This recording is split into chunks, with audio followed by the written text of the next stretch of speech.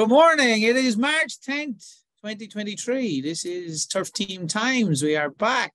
Uh, we did think, based on how the weather forecast and what was going on about two weeks ago, that that might be a timely occurrence. Uh, and most of us say most of us would say that it's still probably a timely occurrence. However, the fact that there's snow falling in the northern part of the state and it's not exactly balmy tropical in the southern part of the state People are probably wondering, are you too early? But however, we are here online today. We got Dr. Dave Gardner, Dr. Tyler Carr, and the infamous Todd Hicks. Hmm.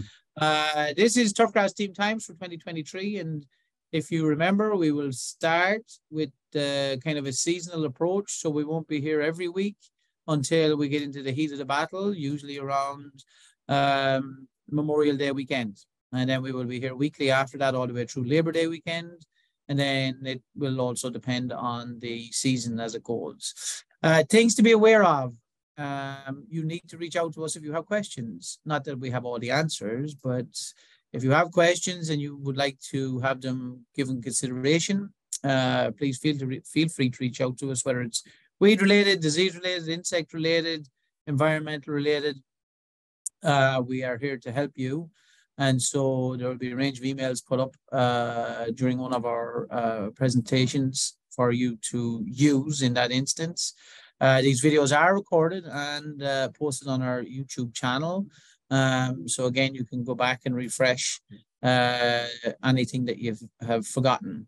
Uh, just from the agronomic standpoint, any of the damage that we seem to have come across due to the cold temperatures around Christmas Eve um, and the wind damage uh, seems like we've got some recovery underway for courses up in the northern part of the state.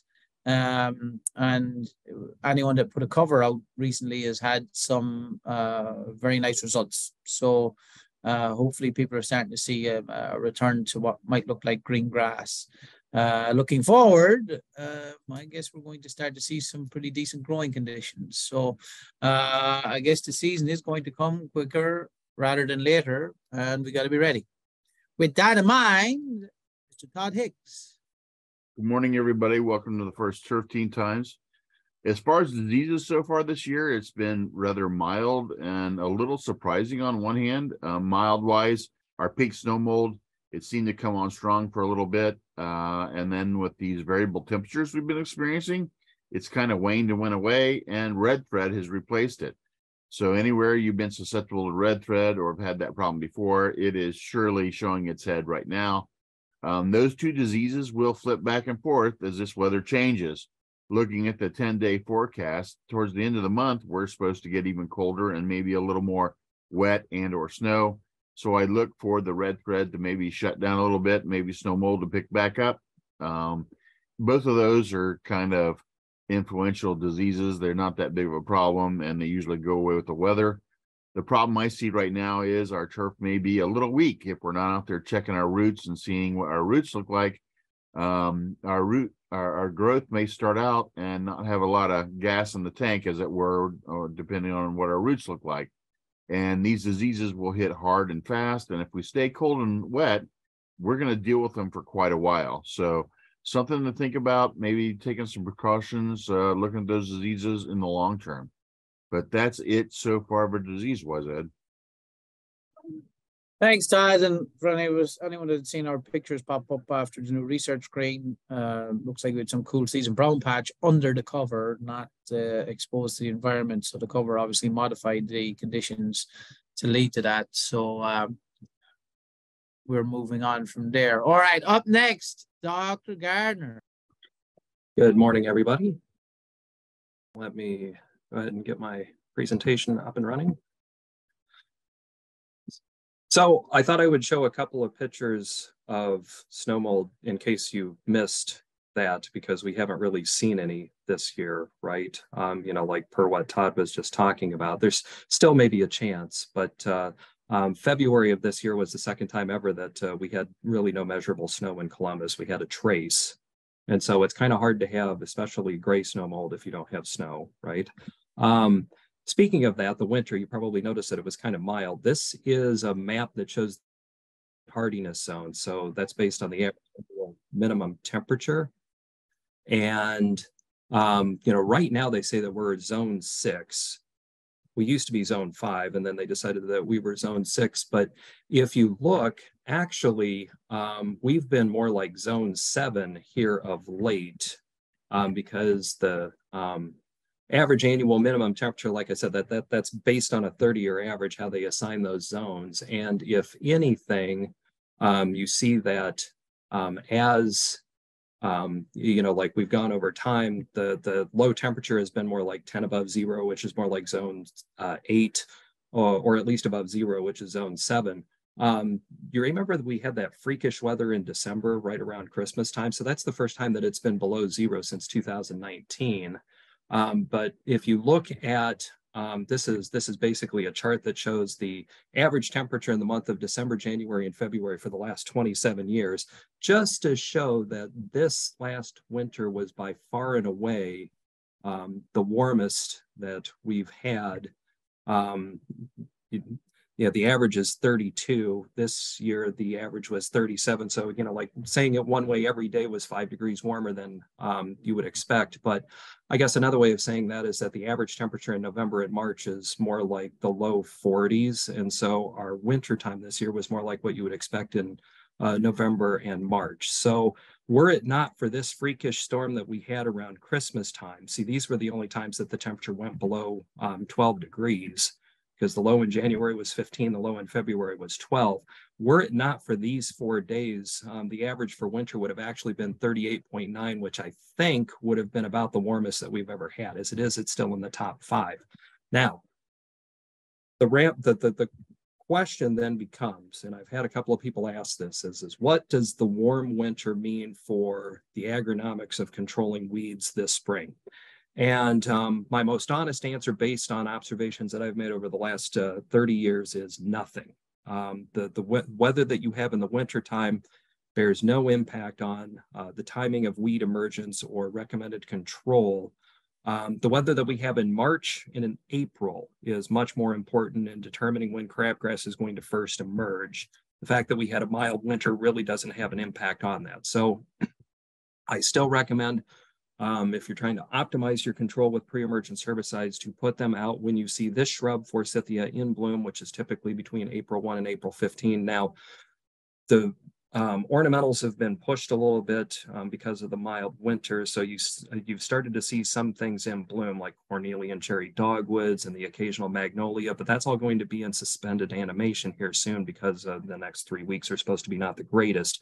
So um, weather-wise. I would still think that we're talking about seeing forsythia blooming the start of April, which again is when you should put out your pre-emerge if you're trying to optimize control. So prodiamine and all others when forsythia finishes bloom and the two-inch soil temperature is about 50 degrees. Dithiopyr, the liquid form, you can put out a little later, right, until you see crabgrass at the one to two leaf stage. So that's even, you know, like late April, the start of May. Um, if it's granular dithiopyr, that does have to go out pre-emergence, but the liquid does have early post-activity. Um, you're probably starting to see these weeds getting up and um, uh, growing and even sending out the occasional flower too, especially the hairy bittercress. So winter annuals are kind of annoying. Um, the winter annuals that you see now have hardened off due to wintertime stress, even though it was a mild winter. And so control is going to be pretty difficult. I would recommend using the nicest herbicide that you can afford, preferably a four-way formulation um, that includes a Protox inhibitor, and also make sure that there's at least one ester um, in that formulation. Those are going to typically work better um, on those weeds, and especially in cooler times of the year. Speaking of a herbicide that works a little bit better in cooler weather, Defender herbicide, which contains the active florasulam. The weed control spectrum of this one active ingredient is a little bit narrow. It's dandelion, white clover, and the winter annuals, but that should be the weeds that you're having a problem with right now. Um, and actually, if you time this correctly, uh, and I've seen this, I've actually done this, you can you can actually suppress dandelion bloom with this product. So you know how sometimes when you put out a phenoxion dandelions and it blooms anyway, which is kind of annoying.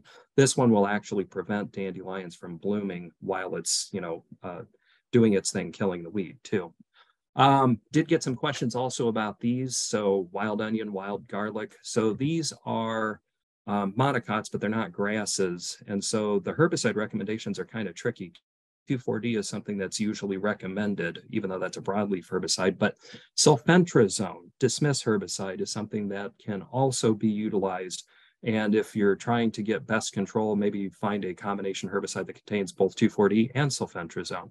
Um, that's in turf. If it's in ornamental beds, uh, sulfentrazone is really your only choice, and that's only if you see the wild onion or wild garlic away from the ornamentals because sulfentrazone has to be used as a directed spray in that environment.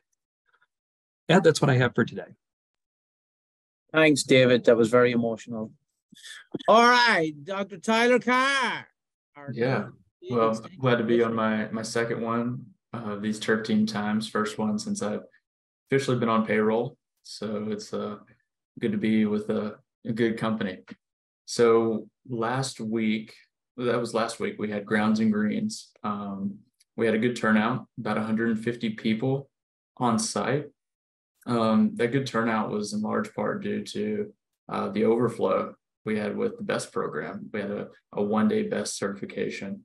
Um, and so that is a that's something that we offer you know in person at times but it's also a member benefit. Um, and days like today, you know, I got wet outside walking my dog. Um, be a good day to co- go inside and get some of the new guys on the crew some training.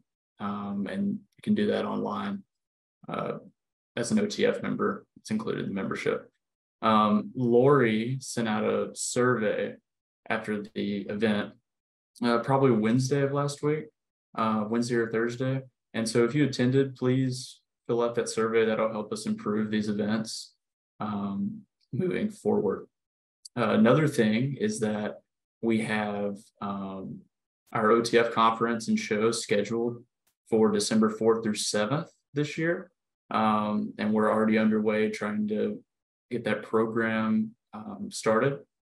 And starting next month, we're going to have some listening sessions with different industry groups. So keep an eye out um, on your email for for information about that for for golf, um, lawn care, sports turf. Um, part of that as well. If you can't make it, we're gonna we're gonna survey you to death and keep sending uh, other surveys so that even if you can't make it either in person or over Zoom, you're able to uh, provide feedback. Um, speaking of another survey, we have our um, field days uh, scheduled August 1 is the OTF field day. August 2nd is the OLCA field day. Um, as part of a recent collaboration with Kansas State University and 11 other institutions, um, they're going to they're, we're going to be distributing um, surveys at this event and the conference, uh, the field days and the conference uh, to get a better understanding of uh, you know how you currently use extension services and how you would like to use them in the future. So this will help us again kind of focus in how we're delivering content to everybody. Um, and so another thing that is very recent to us and i just shared with the group before we got on here is that we have a new uh, turf website a new buckeye turf website in development um, so this would be a one-stop shop for all things personnel, um, curriculum, extension outreach, and, and research. And so this would this would be a great addition um, to our to our program. Um, and I guess the last thing I have is I'm going to share the screen. This is some contact information for uh, individuals in our program. Uh, both including uh, the Wooster and Columbus campuses. We have also Twitter accounts for, for you to follow. So if you have any any questions, these are our, our contacts. You can reach out through email or or on Twitter. Um, and we're going to share some some cool, relevant information. and Continue to do so through these channels. So Ed, I'll. Do you have anything you're wanting to share, or do you want me to leave this up? No, we can we can leave that up. That's that's a, a viable uh, viable piece of information on there. Uh, with that, folks, we will wrap it up. We will be back in two weeks' time Um, the idea would be that again, uh, we're not quite into the heat of the battle of the season, so trying to provide weekly information is not going to be worthwhile. Um, but we will be back in two weeks' time, and if you have anything that pops up in the meantime, feel free to reach out to us, and uh, we will do our best to answer those questions. Thank you. Thanks, guys.